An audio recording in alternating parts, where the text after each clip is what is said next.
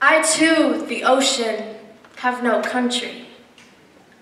The lines on maps cannot show me my home, my ecosystem. It is slowly being taken from me.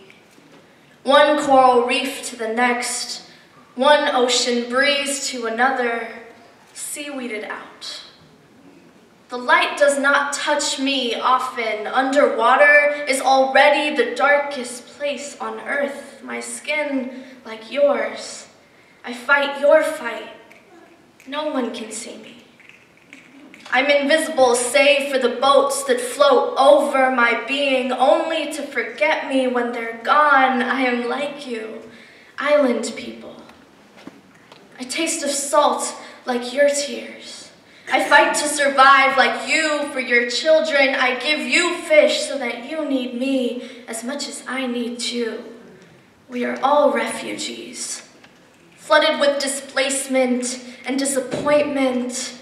We all speak the same tidal language. We want the same things. To meet at equilibrium, to live in the midst of life, to question if this is a green problem or a brown one.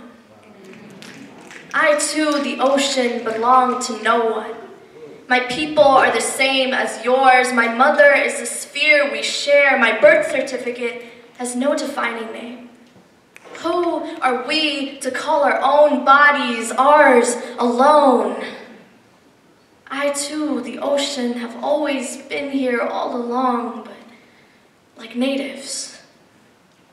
They put a God into every grain of dirt, every mountain, every tree and sea, and prayed to it to think that I once had a religion, a mantra surging through my crevices, a ritual resting in my caves, a respect sleeping under my shell. Well, where is this spirit, this faith, this understanding, the realization that we do not own this land. How can we fight each other for what is not ours to begin with? We are killing it.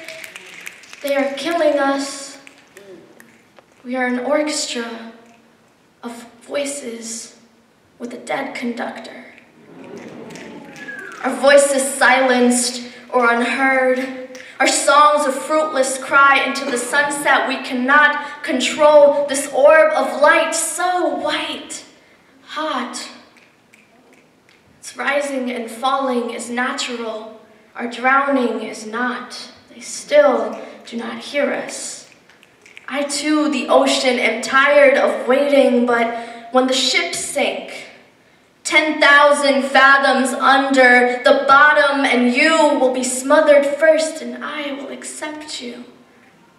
They will be on lifeboats called privilege, and you will swim among the rest of the weakened, their privilege in eclipse, while we cease to be.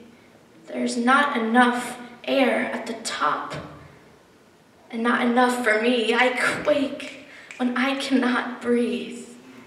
You and they must change because I too, the ocean, do not want to become a tsunami.